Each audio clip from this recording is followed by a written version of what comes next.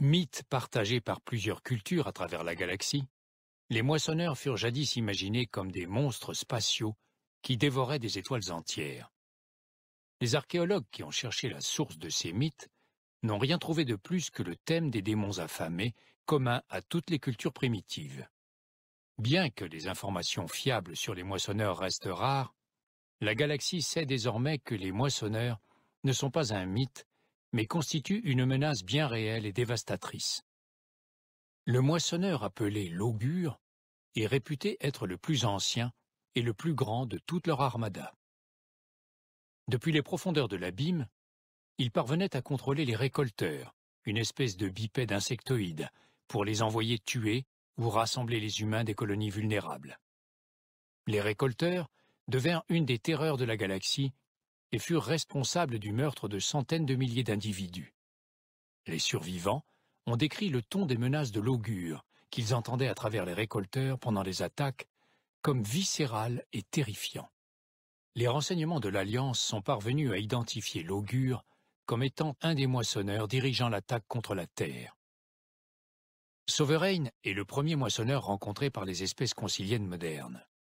Les chefs militaires ont d'abord cru que Sovereign était un vaisseau amiral Geth ou protéen, commandé par Saren Arterius, un spectre renégat.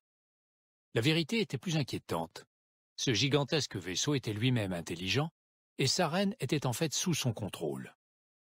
Les attaques d'Eden Prime et de la citadelle par Sovereign levèrent toute incertitude quant à la supériorité technologique des moissonneurs. Grâce à ses formidables boucliers et à son époustouflante puissance de feu, il parvint à tenir en respect les flottes combinées de la citadelle, et son générateur de champ gravitationnel était assez puissant pour lui permettre de poser son énorme masse sur une planète et d'en repartir. La mission de Sovereign, ouvrir un relais cosmodésique qui aurait permis aux autres moissonneurs de surgir de l'abîme, causa sa perte. Pendant la bataille de la citadelle, Sovereign relia sa conscience à celle de Saren, mais la mort de ce dernier corrompit le signal et provoqua la chute des boucliers de Sovereign qui fut rapidement détruit. L'endoctrinement des moissonneurs est un mode de corruption intrusive des esprits organiques, une reprogrammation cérébrale impliquant le conditionnement physique et mental du sujet au moyen de champs électromagnétiques, d'émissions infrasoniques et ultrasoniques, entre autres méthodes subliminales. Le contrôle qu'exerce le moissonneur sur le système limbique du sujet le rend hautement réceptif à la suggestion. Les êtres organiques soumis à l'endoctrinement souffrent de maux de tête et de troubles auditifs. À mesure que le temps passe, ils se sentent de plus en plus observés et sont victimes d'hallucinations spectrales. À terme, le moissonneur acquiert la faculté d'utiliser le propre corps du sujet pour encore amplifier ses signaux, alors manifestés par des voix étrangères dans l'esprit du sujet. L'endoctrinement peut ainsi créer de parfaits agents clandestins. La suggestion exercée par un moissonneur peut contraindre un sujet à trahir ses amis, à se fier à ses ennemis, ou à considérer le moissonneur lui-même avec une révérence superstitieuse. Si la cible appartient aux hautes sphères politiques ou militaires, les conséquences en sont donc d'autant plus fâcheuses. À long terme, les contre-coups physiques sont irréversibles. Les fonctions cérébrales supérieures s'atrophient et réduisent la victime à l'état végétatif. Un endoctrinement rapide est possible, mais la dégénérescence mentale est létale au bout de quelques semaines, voire de quelques jours. Un endoctrinement lent et patient permet d'en prolonger l'effet de plusieurs mois ou années.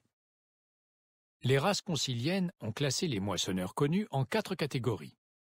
Vaisseaux de ligne. Les moissonneurs de classe souveraine l'ont de 2 km. Ils s'en prennent d'habitude aux cuirassés, aux installations défensives et aux centres industriels des civilisations organiques. Les experts pensent que les moissonneurs ramassent une espèce à chaque cycle d'extinction pour créer ce genre de vaisseau. Destructeurs. Ils sont longs de 160 mètres, existent en quantité incroyable et forment le gros de la flotte des moissonneurs. Ils attaquent les croiseurs et les vaisseaux plus petits, ainsi que les relais de communication et les centres de commandement ennemis. Des recherches tentent à prouver que les destructeurs sont créés à partir des espèces qui ne sont pas moissonnées pour faire des vaisseaux de ligne. Transport de troupes. Ces vaisseaux transportent les zombies sur les planètes à conquérir et ramènent les organiques moissonnés vers les centres de traitement. Leur taille va de 200 mètres à 1 km, mais contrairement aux vaisseaux de ligne et aux destructeurs, ils ne semblent pas conscients. On pense que les moissonneurs pilotent les transports de troupes à distance. Vaisseaux de traitement, aussi appelés vaisseaux abattoirs, ce sont des centres mobiles de récolte d'ADN en masse. Comme les transports de troupes, ils semblent être pilotés à distance par des moissonneurs conscients. La brute est une énorme abomination résultant de l'amalgame entre des turiens et des kroganes victimes des moissonneurs. Comme les tissus des espèces dextroaminées comme les turiens sont incompatibles avec ceux d'espèces lévoaminées comme les kroganes, des implants régulent la biochimie du corps des brutes pour éviter tout rejet. C'est la fusion de la valeur martiale des turiens et de la rage guerrière des kroganes qui fait des brutes des adversaires redoutés. Ils sont capables de détruire des véhicules blindés pour s'en prendre aux soldats qu'ils abritent. Les soldats ont pour consigne de garder autant que possible leur distance et de ne pas engager seuls le combat contre une brute. Les cannibales sont les unités de première ligne des moissonneurs, créées à partir de butariens corrompus. Leur surnom leur vient de leur propension à dévorer les cadavres de leurs camarades tombés au combat. Cela déclenche un processus biochimique grâce auquel les cannibales se régénèrent et acquièrent une nouvelle armure chitineuse. Cette transformation semble aussi leur conférer une meilleure perception de leur environnement et par conséquent un meilleur comportement au combat et une meilleure exploitation des couvertures. La vue d'un psychosaure en vol est un des signes avant-coureurs d'une invasion de moissonneurs. Leur grande envergure leur permet de couvrir rapidement la distance qui les sépare de leur cible. La gueule d'un psychosaure abrite deux fusils lourds qui tirent alternativement, mais ce qui rend ces psychosaures réellement effrayants est plutôt la certitude que les forces terrestres des moissonneurs suivent de près. Les exterminateurs sont d'anciens rachnis que les moissonneurs ont transformés en plateformes d'artillerie lourde grâce à un procédé mêlant implants et modifications génétiques. Véritables tourelles mobiles organiques, ils peuvent encaisser et infliger d'importants dégâts. Les exterminateurs portent des poches d'œufs qui font éclore des essaimeurs en permanence. Si les poches sont détruites, que ce soit au combat ou à la mort de l'exterminateur, tout leur contenu s'en échappe et charge l'ennemi pour exploser à son contact un exterminateur mort émet des gaz caustiques et une flaque de liquide acide. Les chercheurs de l'Alliance ont émis l'hypothèse qu'il était plus facile pour les moissonneurs de maintenir le contrôle des unités rachni à cause de la prédisposition neurologique de l'espèce au consensus d'un esprit collectif. Les furies sont des assaris corrompus, qui se retrouvent souvent à la tête des forces de frappe des moissonneurs. Créées à partir d'Ardatiakshi latentes ou déclarées, elles sont atteintes d'un trouble neurologique rare qui améliore leur pouvoir biotique et les amène à éliminer toute personne se reproduisant avec elles. Le pas traînant comme si elles souffraient en permanence, les frêles furies sont des adversaires étonnamment endurantes. Elles sont des biotiques dévastatrices capables de projeter des boules d'énergie mortelles et de créer des ondes de choc pendant qu'elles se régénèrent. Ce que les troupes de l'Alliance trouvent le plus perturbant, c'est leur capacité à générer leurs propres déchirures pour provoquer comme une téléportation sur le champ de bataille. Bien que leur plainte n'ait aucun effet physiologique apparent, leur effet psychologique est indéniable. Lorsqu'une furie meurt, ces gènes d'Ardatiakshi se retournent contre elle, provoquant une implosion biotique pour empêcher leur récupération. Les maraudeurs sont des turiens moissonnés qui dirigent et protègent les autres troupes des moissonneurs. Ces créatures élancées et blindées présentent une sérieuse menace par elles-mêmes et deviennent encore plus dangereuses lorsqu'elles sont à la tête de troupes de moissonneurs. Les marines de l'Alliance ont observé des maraudeurs renforcer des zombies et des cannibales en les enveloppant d'un ruban d'énergie qui forme une armure croûteuse. Les soldats de l'Alliance ont donc pour consigne d'abattre en priorité les maraudeurs quand ils en croisent. Les zombies sont la chair à canon agressive et décérébrée des armées de moissonneurs. Ils sont créés en empalant des humains, morts ou vifs, sur des pales mécaniques qui en extraient rapidement l'eau et les minéraux et les remplacent par du matériel cybernétique. Ce matériel ranime les corps sans vie et les transforme en horribles machines à tuer. Les moissonneurs utilisent de grands groupes de zombies pour submerger l'ennemi. Leur insensibilité à la douleur ainsi que leur tendance à attaquer en groupe en font des ennemis redoutables.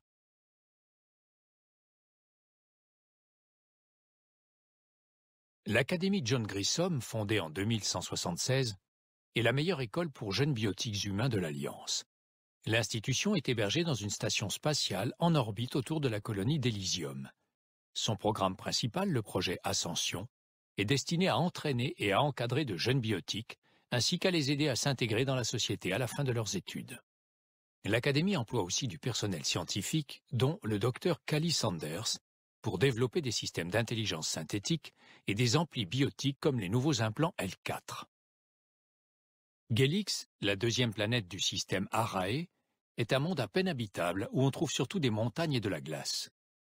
La planète est devenue une colonie pénitentiaire humaine en 2161, mais ses prisons ont été fermées en 2179 après avoir obtenu les pires résultats en matière de sécurité de toute l'Alliance interstellaire.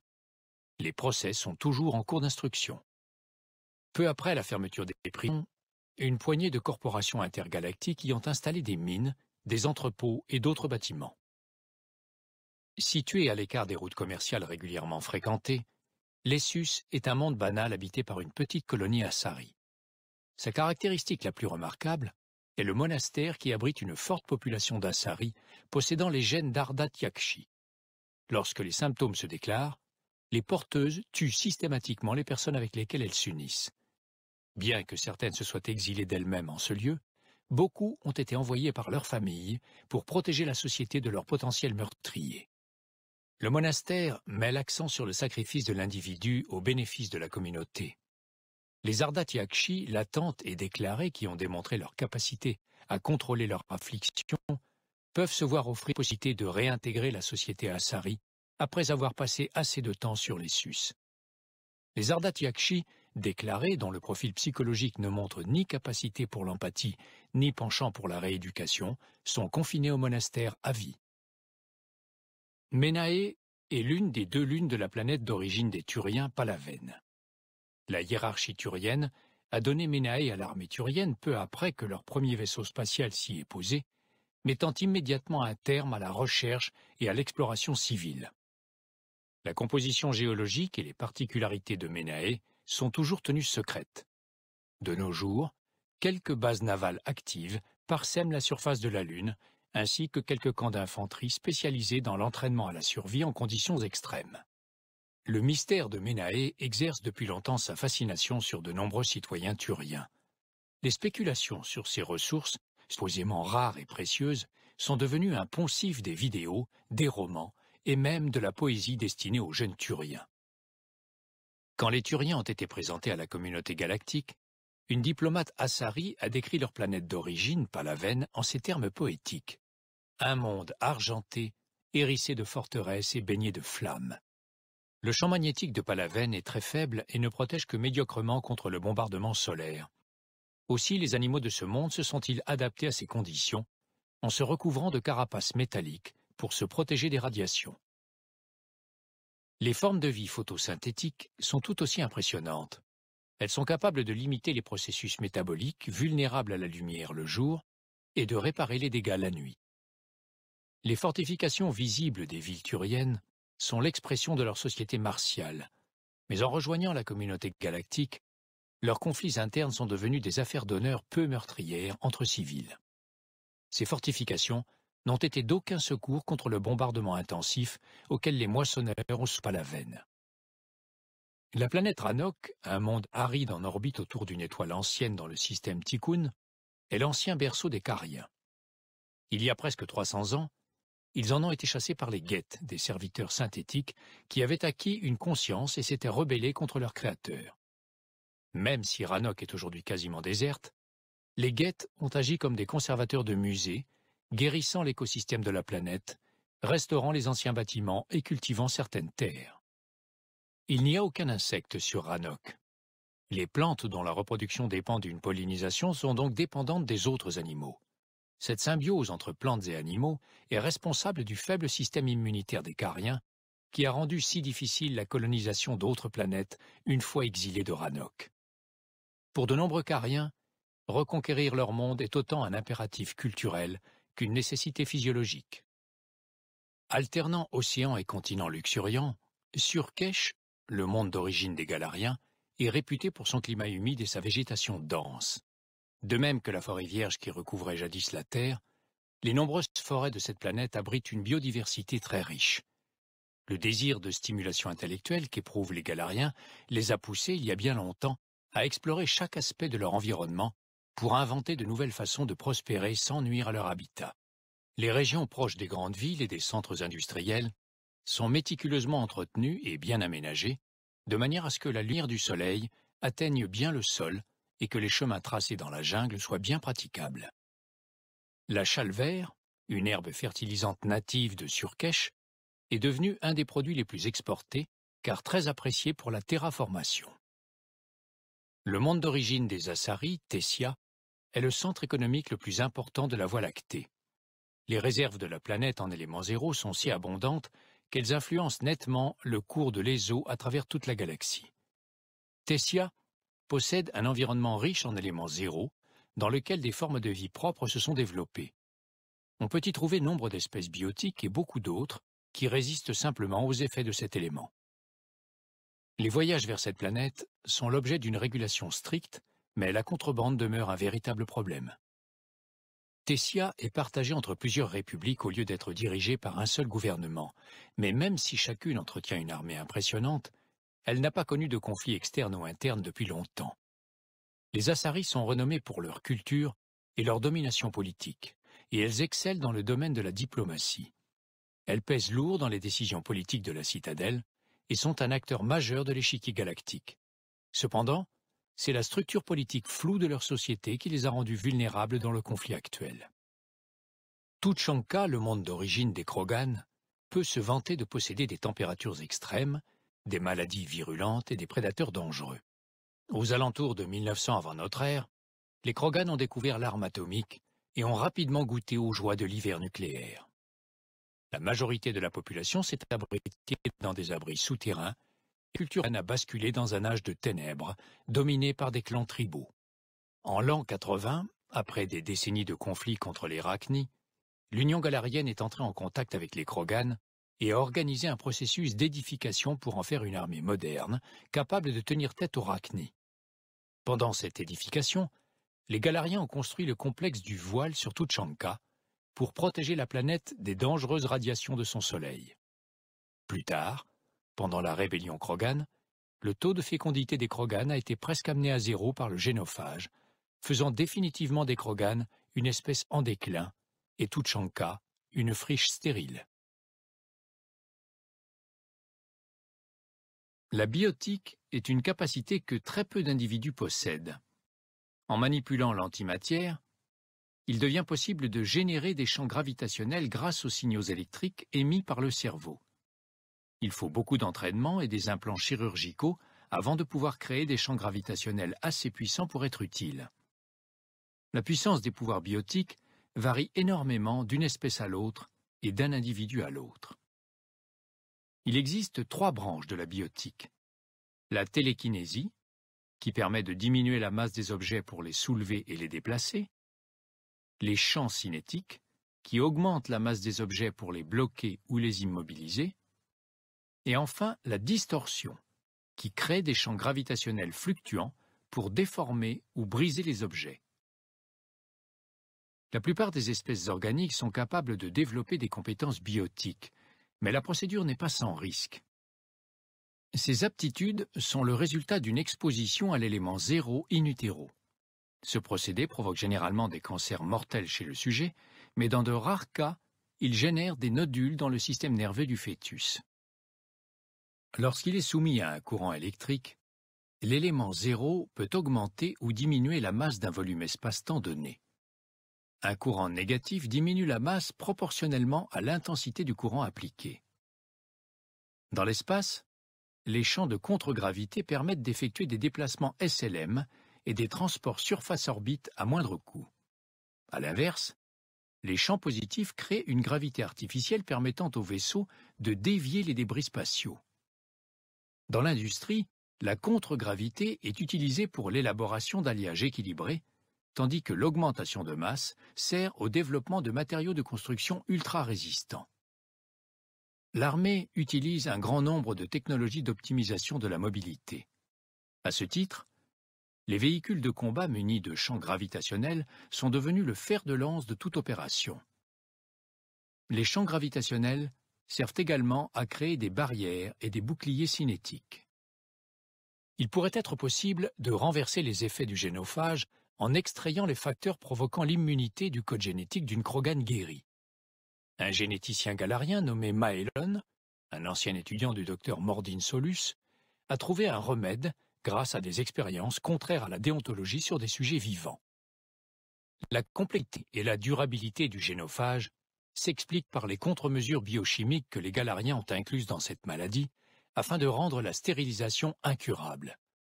Personne ne sait comment Maelon a contourné ces contre-mesures, mais ses notes de travail étaient assez complètes pour permettre la réplication de ces résultats. Dans sa forme originelle, le remède restaurait la fertilité, mais affaiblissait le système immunitaire, ce qui a provoqué la lente agonie de tous les sujets expérimentaux de Maelon, à l'exception d'un seul. Si les aspects positifs du remède pouvaient être isolés, un virus taillé sur mesure pourrait réparer les gènes affectés chez les autres Krogan. Les archives martiennes décrivent une arme de destruction massive que l'Alliance a baptisée le Creuset et qui exploite la technologie des relais cosmodésiques. Cependant, au-delà de son fonctionnement de base, les chercheurs sont incapables de décrire le mode d'action de cette arme. Une théorie populaire suggère que puisque les relais peuvent projeter de la matière et de l'énergie à travers la galaxie sans tenir compte de la distance, il serait possible de fabriquer une arme pour laquelle l'éloignement de la cible ne serait plus qu'une trivialité. Toutefois, reproduire la technologie avancée qui a été nécessaire à la construction des relais s'est révélé difficile. Si le creuset était construit, le problème serait alors d'abattre un moissonneur à l'autre bout de la galaxie, sans causer de dommages collatéraux inimaginables. La seule certitude concernant la construction du creuset, c'est qu'elle nécessite un effort à grande échelle et qu'elle consomme des ressources venues de toute la galaxie. Le coût astronomique de l'entreprise au second plan face à la nécessité de créer quelque chose, n'importe quoi, qui puisse arrêter les moissonneurs. Le génophage est une arme biologique créée pour mettre un terme aux rébellions Krogan.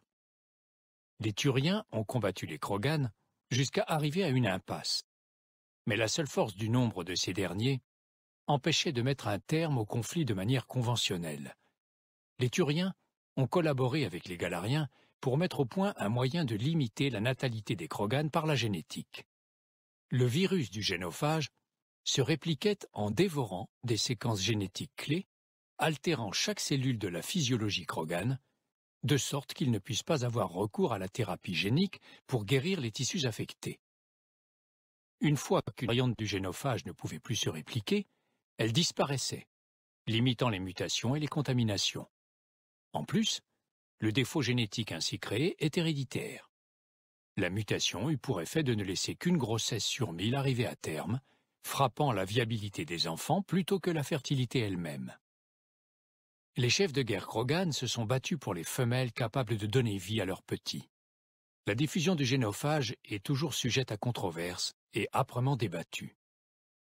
Le Médigel est un baume de soins utilisé par les médecins, les équipes de secours et le personnel militaire. Il combine différents principes actifs anesthésique local, désinfectant et autocoagulant. Lorsqu'il est appliqué, le gel est conçu pour former une pellicule qui adhère à la peau jusqu'à ce qu'on l'expose à une certaine fréquence d'ultrasons. Il est imperméable au liquide, le sang notamment, aux contaminants, au gaz. Le Médigel est un protoplasme modifié génétiquement, mis au point par un consortium pharmaceutique nommé Fondation CIRTA. En théorie, il constitue une violation des lois conciliennes contre l'eugénisme génétique, mais il s'est révélé trop efficace pour que quelqu'un prenne la décision de l'interdire. Un Omnitech est un dispositif portatif intégrant un terminal informatique, un kit d'analyse sensorielle ainsi qu'un micro-atelier. Fiable et polyvalent, il peut servir à analyser et modifier à distance les propriétés de nombreux équipements comme les armes et les armures. Le micro-atelier est capable de façonner quasi instantanément de petits objets tridimensionnels faits d'alliages légers, de céramique ou de plastiques industriels réutilisables. Il devient dès lors possible d'effectuer des réparations ou modifications en pleine situation de combat, mais aussi réutiliser le matériel récupéré. Les Omnitech font partie de la dotation standard des soldats et des pionniers. Considérés initialement comme protéins, les relais cosmodésiques sont en fait des exploits technologiques créés par les moissonneurs qu'aucune espèce vivante ne saurait égaler ou reproduire. Ces gigantesques structures disséminées à travers l'espace peuvent créer des couloirs d'espace sans gravité permettant un déplacement instantané entre deux points que des vaisseaux SLM conventionnels mettraient des années, voire des siècles à parcourir. Les relais dits principaux peuvent envoyer les vaisseaux à des milliers d'années-lumière, mais leur trajectoire est limitée à une destination. Les relais secondaires, en revanche, ne propulsent les vaisseaux qu'à quelques centaines d'années-lumière, mais ils permettent d'atteindre n'importe quel autre relais situé à sa portée. De nombreux relais principaux sont à l'heure actuelle en sommeil, car personne ne sait où ils mènent. Ils sont le plus souvent désactivés, les civilisations galactiques souhaitant éviter d'ouvrir une porte dimensionnelle vers une destination inconnue, qui pourrait les mettre en contact avec une espèce hostile. Les moissonneurs ne partagent pas cette crainte et utilisent les relais principaux à leur guise. Lorsqu'il est soumis à un courant électrique, le matériau rare appelé élément zéro, ou ESO en langage courant, émet un champ d'antimatière qui augmente ou diminue la masse des objets qui l'englobent.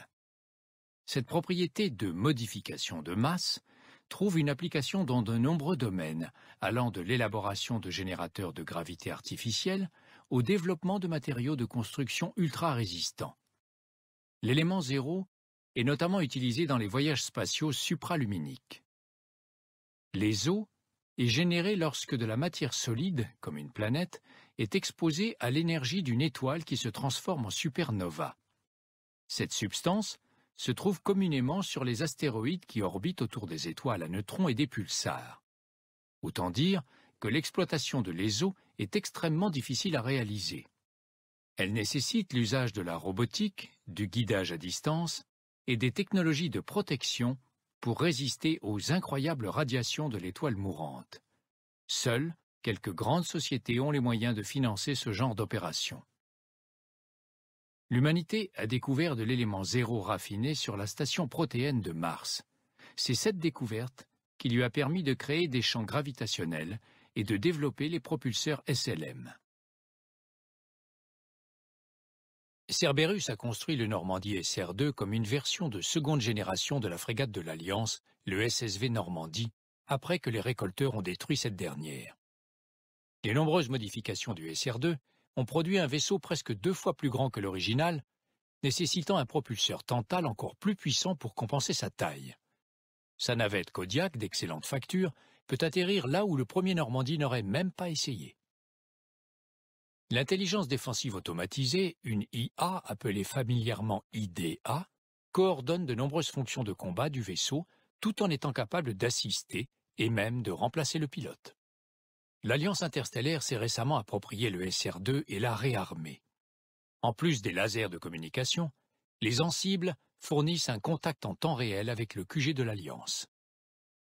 Conçu à l'origine pour amener les marines de l'Alliance au cœur des environnements hostiles, la navette UT-47 a depuis été vendue à des alliés, puis capturée par des ennemis, et ses spécifications ont été volées par des espions.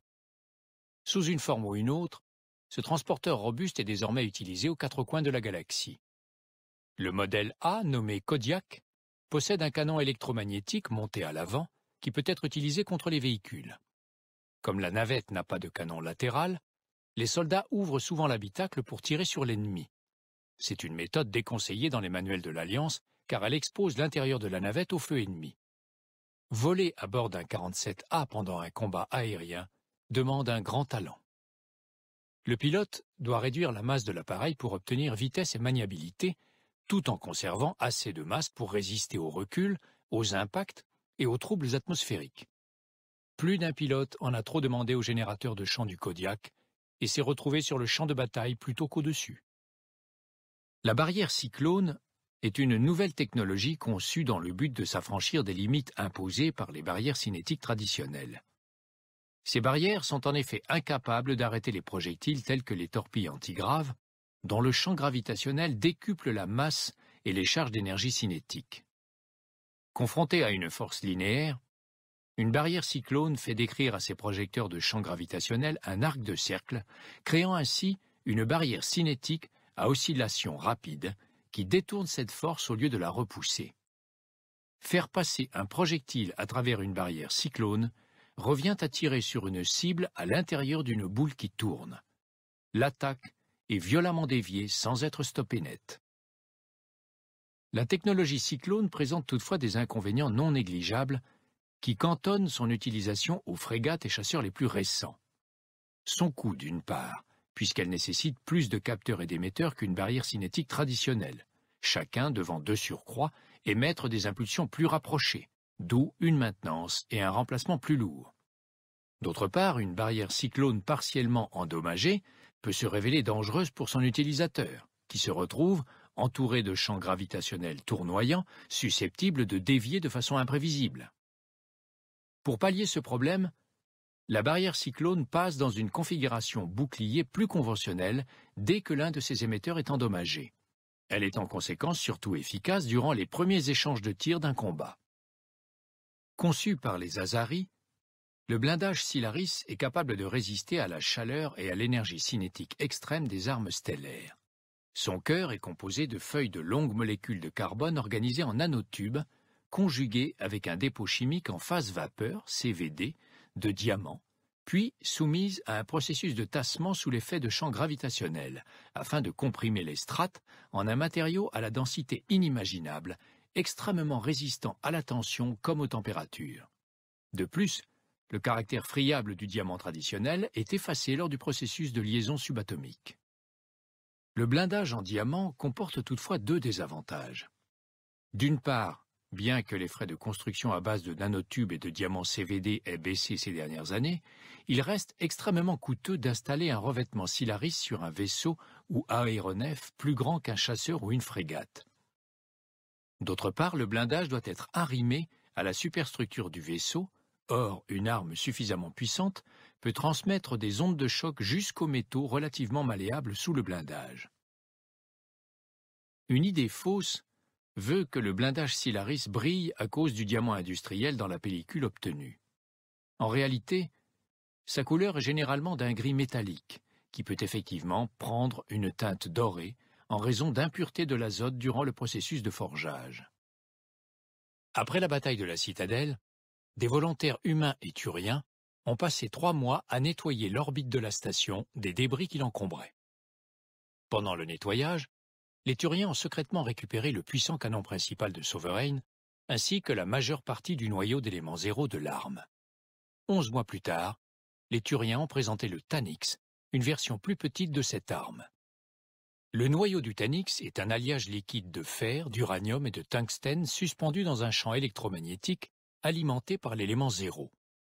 Le métal fondu, accéléré jusqu'à atteindre une fraction significative de la vitesse de la lumière, se solidifie en un projectile lorsqu'il est tiré, frappant sa cible avec assez de force pour percer n'importe quelle armure ou bouclier. Le canon peut tirer sans danger toutes les cinq secondes. La taille relativement petite de cette arme lui permet d'être monté sur presque tous les chasseurs et toutes les frégates. Il est à présent employé par l'armée de l'Alliance et sert d'arme principale à la version SR2 du Normandie.